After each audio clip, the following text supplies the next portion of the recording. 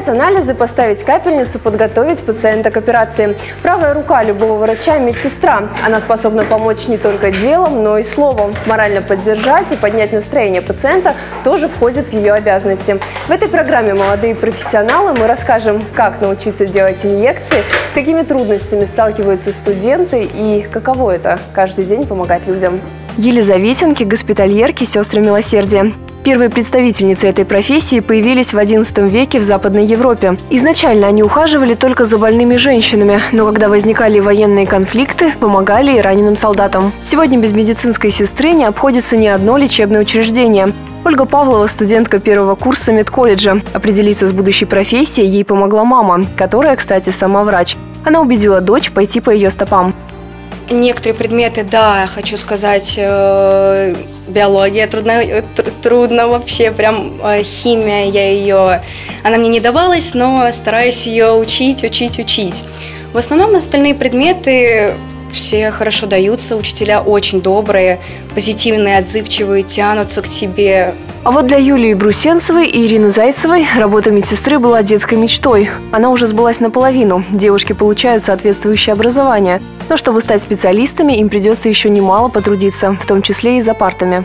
Каждый предмет, если пропускаешь, ты пропускаешь э, какой-то объем знаний.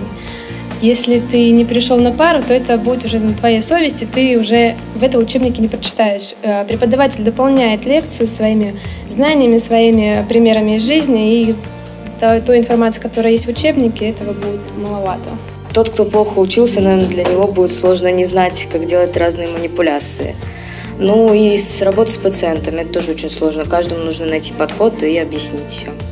Всего в колледже более тысячи студентов. Большинство из них осваивают сестринское дело. Бывшие выпускники девятых классов постигают азы профессии в течение четырех лет. Те, кто пришел после 11 учатся на год меньше. Преподаватель со стажем Татьяна Акунская рассказывает, в начале ребят ждет обязательный курс теории и только потом практика. Начиная с третьего курса идет вот этот огромный в полтора года модуль ПМ-02, э, участие в лечебно-диагностическом или реабилитационном процессах. Э, этот модуль э, заканчивается вот уже на четвертом курсе сейчас с вот этими студентами. Мы как раз этим занимаемся. Вот, каждый модуль заканчивается квалификационным экзаменом. То есть они уже показывают компетентность свою вот в этой области.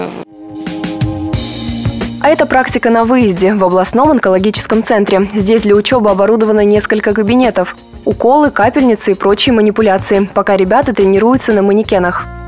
Каждый профессиональный модуль включает различное количество часов. Иногда это самый минимальный цикл у нас бывает. Три недели, четыре недели, то есть 36 часов в неделю они бывают у нас на практических занятиях. Расскажите, что проходят студенты на практических занятиях? Ну, конечно, практические э, навыки, отработка практических навыков зависит от курса обучения наших студентов. Если это профессиональный модуль 0.4 решение проблем пациента путем сестринского ухода, он подразумевает непосредственно первичный студентов первичная адаптация уже в стационар, это прием пациентов в стационар, это кормление пациентов и, конечно, отработка манипуляционной техники. Студенты учатся выполнять внутрикожные, подкожные, внутримышечные инъекции. В полной мере всю ответственность работы студенты осознают именно в стенах больницы. Здесь уже не скажешь, забыл или не успел выучить, как в школе. Каждое действие должно быть тщательно отработано, а каждое решение четко взвешено. Цена ошибки слишком высока. На кону чье-то здоровье, а может быть и жизнь. Единственный мальчик в этой группе, Сава Катанити, среди девочек чувствует себя комфортно. Всегда приходит им на помощь. В планах у молодого человека продолжить семейную династию и стать врачом.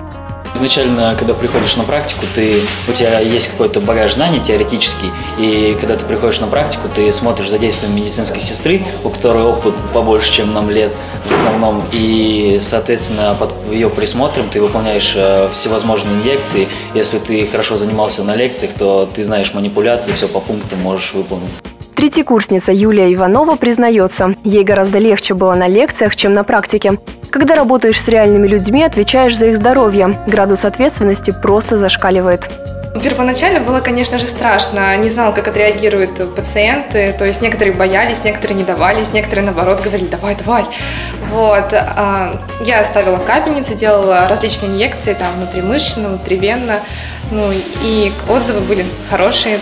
Насколько хорошо студенты выполняют эти манипуляции, проверять я не стала, зато не упустила возможность научиться делать уколы, или, как говорят специалисты, ставить инъекции. Со стороны кажется, что все просто. Вот шприц, вот лекарство, бери и кали. На самом же деле это целый процесс. Нужно соблюсти стерильность, продезинфицировать руки, брать и передвигать инструменты можно только щипцами. Когда все приготовления позади, приступаем к самому главному. Руки трясутся, сердце бьется с бешеной скоростью, и это несмотря на то, что мой пациент – манекен. Вместе инъекции. Подождали, когда полностью высохнет спирт.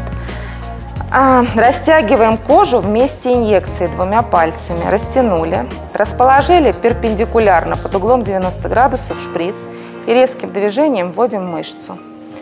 Отпустили кожу и свободной рукой давим на поршень.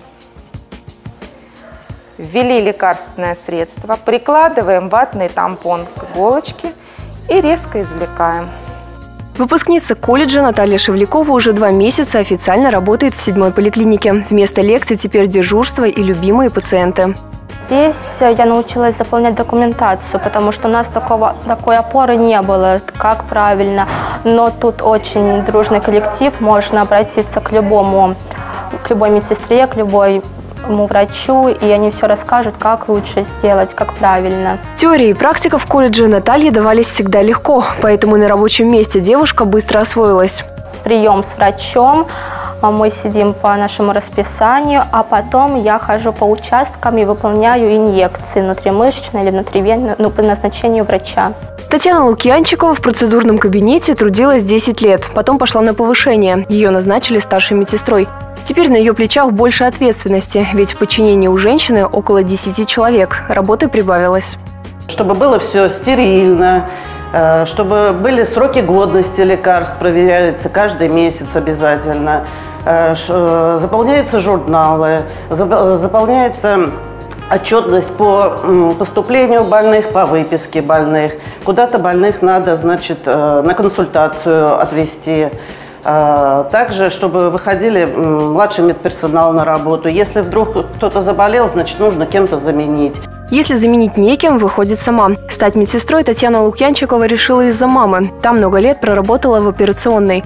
Пошла по ее стопам и ни разу не пожалела. Рутины в профессии тоже хватает. Плюс нужно уметь найти подход к каждому больному. Здесь выручает опыт. В первую очередь их нужно выслушать. Это в первую очередь выслушать.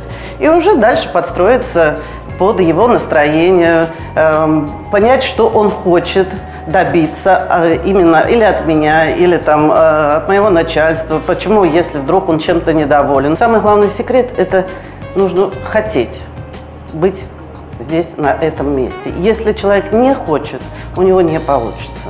Участковая, операционная, процедурная. Без медсестры в больнице не обходится ни одно отделение. И пусть жизни спасают врачи, но от работы этих сотрудников зависит не меньше. Порой от доброго слова поднимается не только настроение больного, но и улучшается его физическое состояние. Помогать каждому человеку – цель их жизни, призвание и просто каждодневный труд.